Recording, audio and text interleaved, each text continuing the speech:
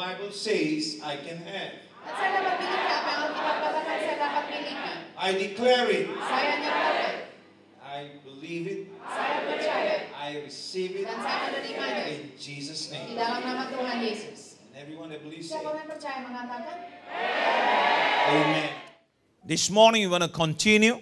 Pagi hari ini We're kita, gonna talk about take it to the streets. itu pagi hari ini saya akan lanjutkan pembicaraan kita yang dari minggu kemarin yaitu membawa Injil itu ke jalan-jalan. You can take it to the streets, you can take it to schools, you can take it to the cafes, anywhere, you know, you Itu can saudara come together. bisa bawa yaitu Injil itu yaitu ke jalan di mana saudara berada maupun ke, di mana sekolah saudara atau di mana pekerjaan saudara atau di rumah saudara sekeliling saudara. In such a time like this, God has prepared the church to rise up and to go into the streets to bring the gospel. Saat seperti inilah di mana ah, Allah itu menyiapkan untuk gereja itu bangkit dan membawa Injil itu ke jalan-jalan. And so each and every person that loves Jesus must allow Jesus to use them. Dan setiap orang yang mengasihi Kristus seharusnya kita mengizinkan Yesus itu memakai diri kita. In the days of Jesus, he brought the gospel and how the people, the disciples begin to witness.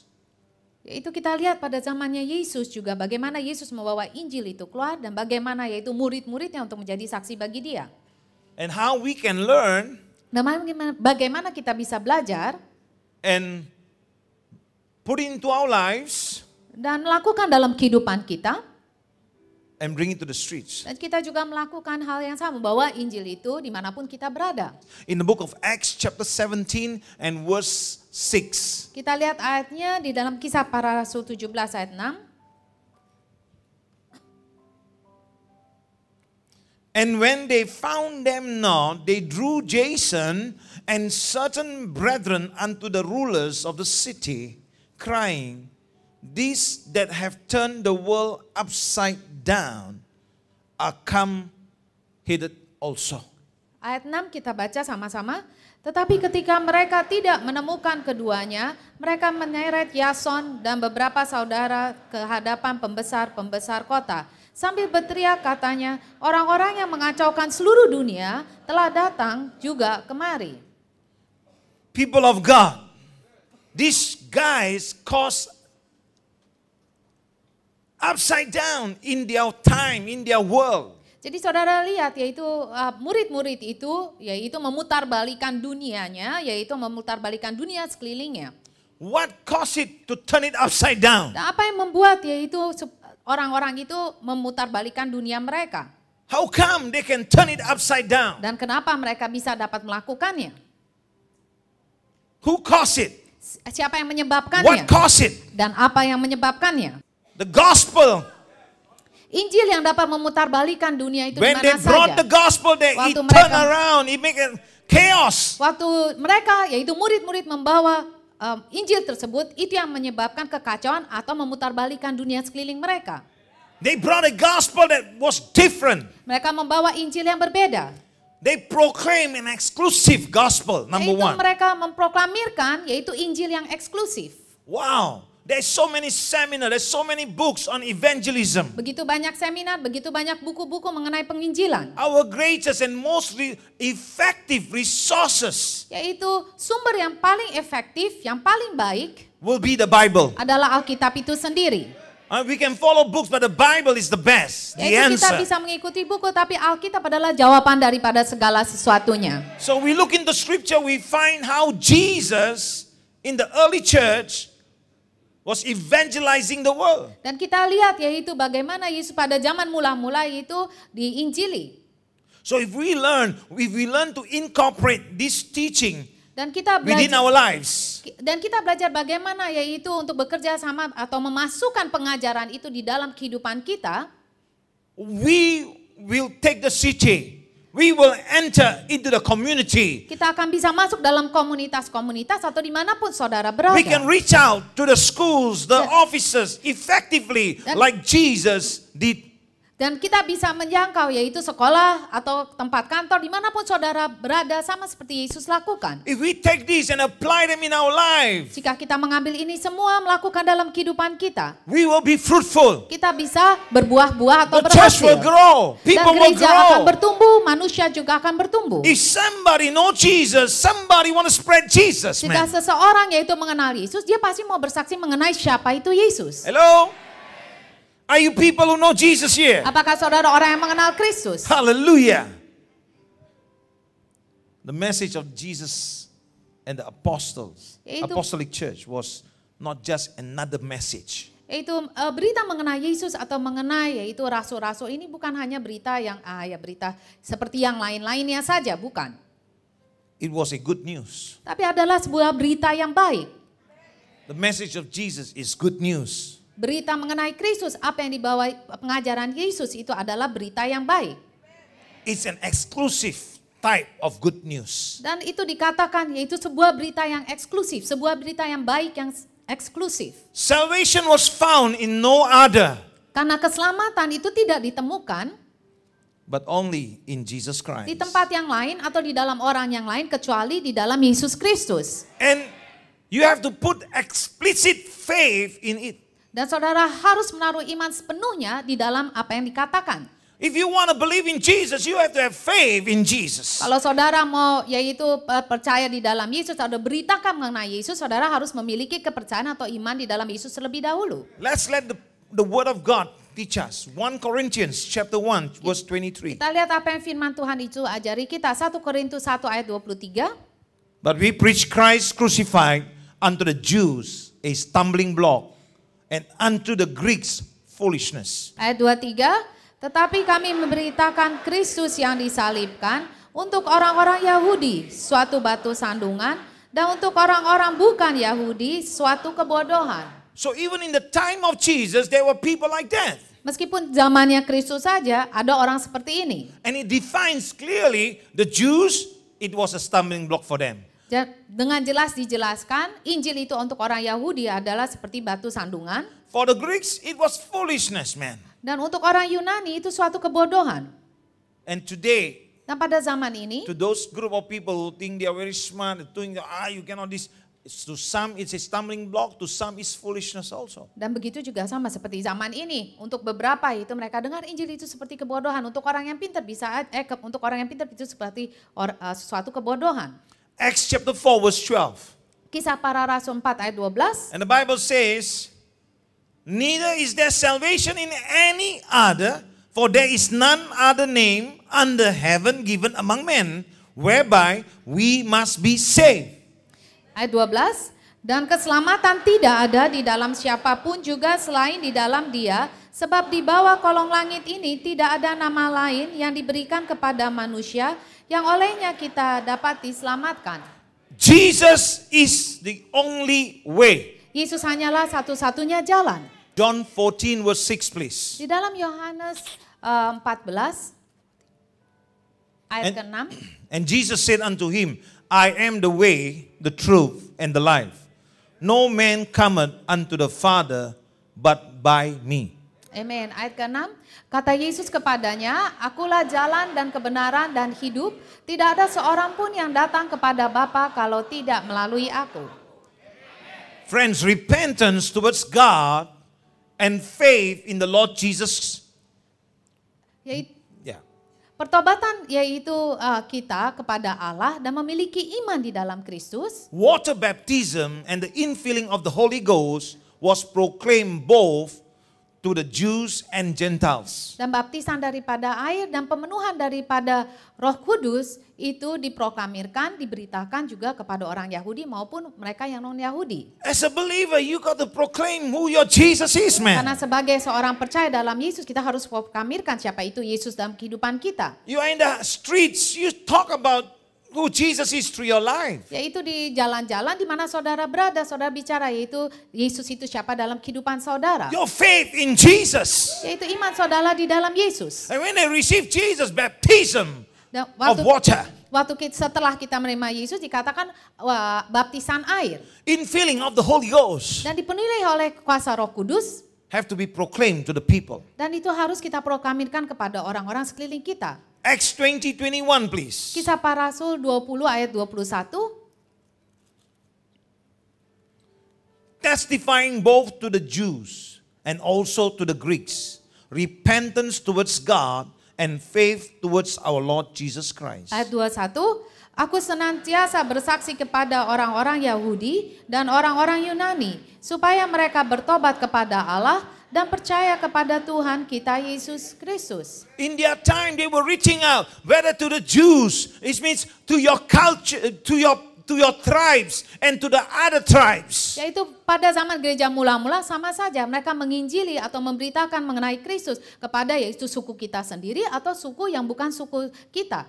We reach out. We got to reach out. We got to reach out and touch. Show them who Jesus is. Tell them about Jesus. Yaitu kita yang menjangkau mereka, kita kasih tahu siapa itu Yesus dalam kehidupan mereka You kita. cannot live your life just living your life and minding your own business, doing your own thing just because you think you receive Jesus already. Yaitu kita nggak bisa jalanin kehidupan egois, yaitu hanya pikirkan mengenai diri kita sendiri, yaitu karena kita sudah tenang, kita udah terima Yesus. Wherever you are, you got to reach out. Yaitu di mana saudara berada, saudara yang harus menjangkau kepada mereka. Don't you want them to be touched? Tidakkah saudara mau yaitu kehidupan mereka juga dijangkau oleh Tuhan? Don't you want them to go to heaven? Tidakkah saudara mau mereka juga pergi ke surga? Don't you want them to be saved the way Atau you mereka are saved? diselamatkan sama seperti saudara tahu saudara telah terselamatkan. Let the love of Jesus manifest through you. kasih Kristus itu yaitu diwujudkan melalui saudara. Hello? Acts chapter 3, chapter 2, Di dalam kisah para rasul 2, verse 38 to 39. 38 sampai 39. Then Peter said unto them, Repent and baptize every one of you in the name of Jesus Christ for the remission of sins. And ye shall receive the whole the gift of the Holy Ghost. 38 Jawab Petrus kepada mereka, "Bertobatlah dan hendaklah kamu masing-masing memberi dirimu dibaptis dalam nama Yesus Kristus untuk pengampunan dosamu, maka kamu akan menerima karunia Roh Kudus." For the promise is unto you and to your children and to all that are afar off, even as many as the Lord our God shall call. Amen. 39 Sebab bagi kamulah janji itu dan bagi anak-anakmu dan bagi orang yang masih jauh yaitu sebanyak yang akan dipanggil oleh Tuhan Allah kita. The gospel was preached, Injil- proclaimed to those following the Jewish uh, uh, religious way. Yaitu kita lihat di mana Injil itu diberitakan kepada orang yang Yahudi yang mengikuti agama mereka. Unbelievers today. Pada zaman ini adalah orang yang belum percaya. John 3 as your reference. Itu tertulis di dalam Yohanes 3. And the Samaritan faith tradition, they preach the gospel, they proclaim the gospel to the Samaritan faith. Dan juga kepada orang Samaria. Yaitu mereka memiliki iman mereka, cara mereka sendiri. Injil itu diberitakan pada mereka. Your reference, Acts chapter 8. Yaitu uh, di kisah para rasul 8 saudara bisa membacanya. And it was also preached to the extremely religious group. Dan juga yaitu uh, diberitakan Injil tersebut kepada orang-orang yang sangat fanatik. Acts chapter 19. Itu juga ditulis dalam kisah para rasul 19. And then it was preached to God-fearers. Dan juga yaitu diberitakan kepada orang yang takut akan Allah. Acts 10. Di kisah para rasul 10. Now friends, what is preached? Dan apa yang diberitakan? Remember I told you that's now the gospel, the good news? Uh, sebelumnya saya bicara ini mengenai yaitu Injil atau berita yang baik. It was preached about the new love, the news of love, Yaitu Injil itu mengenai apa? Mengenai kasih, berita kasih, the news of hope, mengenai berita pengharapan, the news of freedom, mengenai berita yaitu kebebasan, the news of healing, berita kesembuhan, the news of deliverance, berita pelepasan, the news of reconciliation, uh, berita tentang yaitu pemulihan. And the news of forgiveness. dan juga berita pengampunan. Verse 38 says, he said, repent and be baptized. You got to speak the truth. They need help. Dikatakan bertobatlah dan hendaklah kamu masing-masing memberi dirimu untuk dibaptis yaitu karena orang-orang sekitarmu itu perlu pertolongan. There are people who are abused. Banyak orang yang dilecehkan. You know, you know your friends, your people around you. Karena saudara yang mengenal siapa teman-temanmu, saudara sendiri yang mengenal siapa orang lingkunganmu. What are you doing about it? Apa yang saudara lakukan mengenai orang sekelilingmu? God has called you, ordinary people, to become extraordinary people. Karena Tuhan telah memanggil saudara orang yang biasa-biasa menjadi orang yang luar biasa di dalam Tuhan. When you are filled by the Holy Ghost, Waktu saudara dipenuhi oleh Roh Kudus, oh, you can't help but to spread the news of hope. Yaitu saudara nggak bisa yaitu menghentikan diri saudara sendiri. Saudara harus memberitakan berita pengharapan kepada orang lain. Oh, how can you hold back? There is a freedom that you have found. You must release the same freedom that somebody can be touched, somebody can be saved. saudara bisa seharusnya bisa memberitakan juga pelepasan atau pemulihan itu kepada orang lain sehingga orang lain boleh diselamatkan. Oh, the news of healing. Do you know that when you are saved, when you are baptized, when you are filled by the Holy Ghost, when you walk by faith, and when you read that word of God, the power of the Holy Ghost can flow through your hands and touch somebody there, and they can be healed. orang lain sehingga orang lain bisa That's disembuhkan. God, my friends. That God will work through you. Yaitu izinkan Tuhan bekerja di dalam saudara. Don't hold back. Let God flow through you. Izinkan Tuhan bergerak melalui saudara. Don't look at your weaknesses. Look lihat at the things that. God has given Lihat you. apa yang Tuhan telah berikan kepada saudara. Focus on the things that God is working in you. bagaimana Tuhan bekerja dalam kehidupanmu. Not always on the negative, not Bukan always on the hal yang negatif weaknesses, atau selalu kepada kelemahanmu. but look at what God can do through Tapi lihat apa yang Tuhan dapat lakukan melalui kehidupanmu. And through you, somebody can have a deliverance. Dan melalui saudara ada orang lain bisa dilepaskan. And through you, somebody can have a news of healing, forgiveness, mendapat, reconciliation. dan pemulihan. Where they have been broken, you can come in and be a hand that will bring restoration, Saudara bisa membawa restoration, reconciliation to somebody's life. Kepada kehidupan orang lain. That means you are doing what Artinya Jesus said you should do. apa yang Yesus suruh untuk saudara lakukan. It is not the pastor's job. Bukan it is not one man that does everything. pendeta, It is you who believe in tapi Christ. bagi setiap It orang is yang you percaya that di is dalam called of Kristus, God. setiap It orang is yang you dipanggil that Kristus, say yes, setiap Lord. orang yang Or you mengatakan can ya use Tuhan, me kau at the bisa pakai streets, aku in Tuhan, the lobby, in the di mana pun kau mau pakai coffee saya, shop, Tuhan, in the di coffee shop, office, di in the kantor, business, di dalam in the tempat school. kantor saya, Lord, you di have dalam saved me. sekolah-sekolah. You have brought Karena me engkau telah in menyelamatkan acquaintance to saya that person, untuk and that engkau is membawa why saya I kepada can jiwa touch that yang person hilang, in the sehingga name saya of bisa Jesus.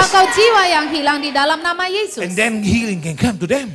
Sehingga kesembuhan juga turun Then pada God mereka. can work in them. Tuhan bisa bekerja dalam Then God mereka. can save that Tuhan life sendiri bisa menyelamatkan kehidupan mereka. through you. Melalui tangan saudara, melalui kehidupan It saudara. is no more one man, one pastor, one Bukan man of God, KKR all the time. Satu orang yang melakukan atau pendeta aja yang selalu melakukan. End times are coming. Waktu kes, ah, ya waktu kesudahan itu sudah hampir dekat God is calling his army to move. dan Tuhan manggil seluruh prajuritnya untuk bergerak. All you need to do Apa yang saudara perlu lakukan? is believe in Jesus Hanya Christ. saudara untuk percaya dalam Yesus Kristus Have faith in him. dan memiliki iman di dalam Dia. Baptized by water, Baptisan di dalam air, filled by the Holy Ghost. dipenuhi oleh kuasa Roh Kudus. One of the signs of the Salah infilling of the Holy Ghost is speaking in other language, other Kudus tongues. ialah saudara dapat bicara beberapa bahasa roh. And then as you begin to pray, as you begin to Selagi believe saudara God, berdoa dan percaya pada that will Tuhan give you the boldness dan memberi saudara keberanian to go forth and share, untuk yaitu membagikan berita Injil itu kepada orang lain. proclaiming a gospel that is Injil itu exclusive. yang eksklusif. that no man, no other person, Karena no other people manusia got this exclusive gospel but you. Memiliki Injil eksklusif ini kecuali saudara. Because there's nobody else, no other way. Karena tidak ada jalan lain, One way. hanya satu jalan. Jesus Christ. Yaitu Yesus Kristus. For he said, I am the truth, Karena dia adalah kebenaran. I am the life, Dan dia adalah kehidupan. and I am the way, he Dia said. adalah jalannya. 1 Corinthians, please, chapter 15, Di dalam 1 Korintus 15 verse 1 through 4. Ayat 1 sampai 4. Moreover, brethren, I declare to you the gospel which I preach to you, which also you receive, and in which you stand. Yaitu ayat 1, Dan sekarang saudara-saudara, aku mau mengingatkan kamu kepada Injil yang aku beritakan kepadamu dan yang kamu terima dan yang di dalamnya kamu teguh berdiri. Verse 2 By which also you are saved, if you hold fast that word which I preach to you, unless you believe in vain. Ayat 2. Oleh Injil kamu diselamatkan, asal kamu teguh berpegang kepadanya, seperti yang telah kuberitakan kepadamu, kecuali kalau kamu telah sia-sia saja menjadi percaya. Hallelujah. Verse 3 For I delivered to you, first of all, that which I also received, that Christ died for us, our sins, according to the scriptures. Ayat 3. Sebab yang sangat penting telah kusampaikan kepadamu, yaitu apa yang telah kuterima sendiri, ialah bahwa Kristus telah mati karena dosa-dosa kita sesuai dengan kitab suci. And that he was buried, and that he rose again the third day according to the scriptures. Ayat 4. Bahwa ia telah dikuburkan dan bahwa ia telah dibangkitkan pada hari yang ketiga sesuai dengan kitab suci. It's a message of God incarnating himself among people. Adalah ini Injil mengenai Allah atau mengenai Yesus yang dia menjemahkan dirinya sendiri yaitu atau lahir dalam bumi ini sebagai manusia. dying as an atonement for the sins of the world. Dan setelah itu dia mati di atas salib sebagai penebusan atas seluruh dosa manusia dalam bumi ini. and resurrecting from the dead. Dan setelah itu dia sendiri yang telah bangkit. So you and I, Sehingga saudara dan I saya preach to you a gospel. Yaitu bisa You can take the same gospel membawa Injil yang sama and go to the streets and go to your brothers, your tempat sisters, di mana saudara berada your friends teman-teman who saudara are longing, who are crying yang out, rindu dan mereka who are yang sudah waiting for someone untuk seseorang who would dare to speak to yang them. berani untuk the truth memberitakan of the word kepada of mereka God. yaitu kebenaran daripada firman Tuhan. If they rejected it, Jika don't you get offended jangan saudara yaitu tersinggung because you came with love. karena saudara datang kepada mereka dengan kasih. Don't hate them, Jangan love benci them. mereka tapi mengasihi You came mereka. to share to them Engkau that they can be mereka, reconciled, yaitu untuk memberitakan Injil sehingga mereka bisa memulihkan hubungan mereka that their families can be restored. sehingga juga keluarga mereka bisa You dipulihkan. share with them because they Saudara can have their healing because Jesus came to heal. Karena Yesus datang kepada mereka. People of God, Saudara if you sekalian, and I would preach the gospel of saudara dan Christ, saya memberitakan Injil Kristus Yesus. oh, if one rejected, don't get, don't stop, don't quit. Janganlah saudara, jika satu menolak saudara kita jangan putus asa. The Bible says they were, the Jews took it as a stumbling block, but Jesus didn't stop. Yaitu Yahudi menerima Injil itu sebagai batu halangan, tapi Yesus nggak berhenti sampai situ. The Greeks thought it was foolishness. Untuk- Jesus didn't stop. Orang Yunani menganggap itu suatu kebodohan, tapi Kristus juga be- tidak berhenti sampai The situ. apostles didn't stop. Rasul-rasul itu tidak berhenti That sampai is situ. why you and I are saved Sebab today. itu saudara dan saya sampai hari ini bisa Don't you think Injil it's our rightful, rightful responsibility ini adalah tanggung to bring it kita back semua out to the streets, untuk to membawa touch somebody, itu that your family, that your family can be saved? juga bisa diselamatkan. Hallelujah. Woo! Number two, they are intentionally, intentional in sharing the gospel. Yaitu uh, mereka yaitu memang dengan segenap hati mereka. Intensi memang bukan kebetulan, maksudnya memang memang dengan segenap hati mereka tujuan mereka adalah membawa Injil. You gotta be intentional, my friends. Dan saudara itu adalah tujuan saudara. Your reason is that they can be saved, they can go to heaven Yaitu tujuan saudara sehingga orang lain boleh juga ke surga bersama saudara. when they come to know Jesus. Waktu mereka mengenal Yesus Kristus. There's no other way, my friends. Karena tidak ada jalan lain. Your walk declares whether you walk with Jesus or not. Dan jalanan kehidupan saudara sehari-hari itu menyatakan apakah benar saudara berjalan sama Kristus atau tidak. The gospel of Jesus is to bring love, Injil daripada Kristus sebetulnya membawa kasih, to bring healing, freedom, membawa yaitu kesembuhan untuk mem- dan juga membawa kebebasan to bring reconciliation, dan memberikan yaitu pemulihan, bringing deliverance, yaitu eh, dan juga membawa pelepasan, setting people free, membebaskan orang-orang, forgiveness. pengampunan. That's Jesus, the gospel. Itu adalah Injil dan mengenai Yesus Kristus. So that is what you and I must now spread. Dari sebab itu kita sendiri harus beritakan. As a child of God, Sebagai anak Tuhan, you got to stand straight, stand like what we just read, stand. Yaitu uh, saudara harus berdiri teguh di dalam iman yaitu berdasarkan firman Tuhan. Dari sebab itu berdiri teguh. Evangelism did not just happen by coincidence. Jadi penginjilan itu bukan hanya terjadi karena secara kebetulan saja. They were intentional in their efforts. Tetapi saudara lihat, semua murid-muridnya itu tujuannya memang penginjilan. Evangelism is not a backup plan just because you do some programs and it didn't work. Yaitu penginjilan itu bukan hanya rencana kedua, oh rencana pertama gagal, plan pertama gagal, udahlah kita ambil plan kedua. Nggak bisa.